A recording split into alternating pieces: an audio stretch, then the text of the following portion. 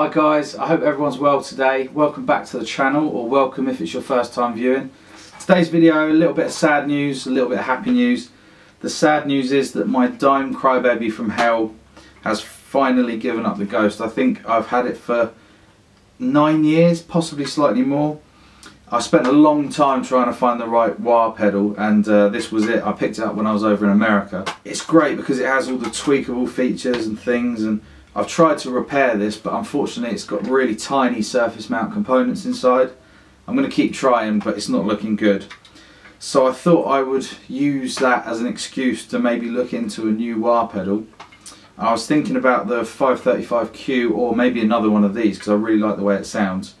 But instead I have picked up the Custom Audio Electronics MC404 wah uh, by Dunlop. It's got two selectable inductors on the side, red and yellow, which is cool. And something that's quite important for me that I've become reliant on since using the, the Dimebag wah is having a built-in boost. Um, I think it just it lets you cut a little bit better and also in the lower reaches of the wire sometimes you can just get lost completely so it's nice to have that to bring it up. I like the fact that it's a little bit more simple than the other wah but you've still got, I think there's internal trim pots for the Q but everything on the outside is pretty knock proof. You've just got a level for your boost. So I haven't actually plugged this in yet so I decided to make a quick video the first time I plug it in and let you guys hear what it sounds like as well as me so enjoy.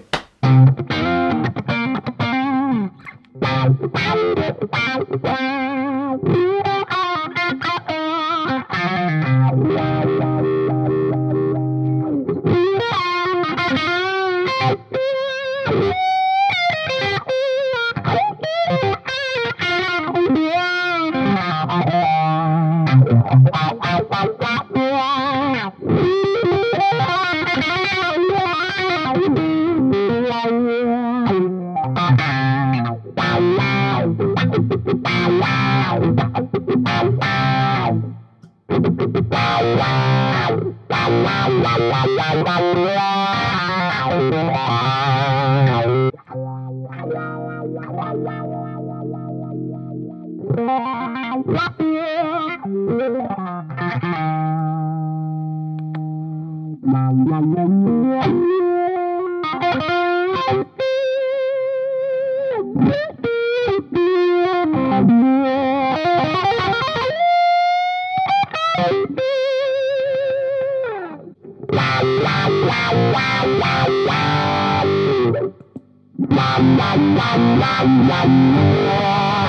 wow.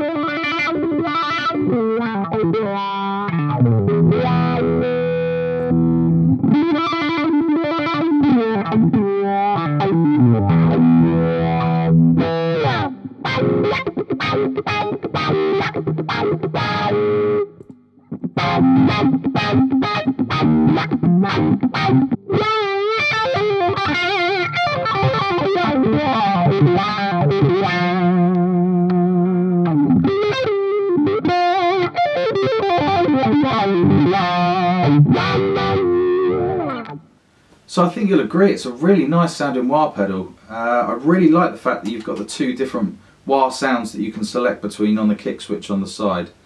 I was expecting to like the red mode more than the yellow based on what I'd read, but I think both of them are really usable sounds. Um, the red mode sounds a little bit deep to me as, as stock. Uh, I think I'm going to go inside and have a tweak of the trim pot uh, the boost is great as well. The only thing I am noticing, it sounds ever so slightly more noisy in operation than the old Crybaby from Hell, but that might be something to do with the power supply or the room or whatever. But it's, yeah, great sounding wah. So, till next time guys, take it easy.